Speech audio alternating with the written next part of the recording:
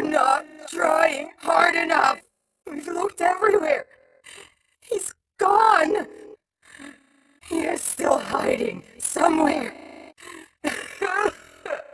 Winners don't give up.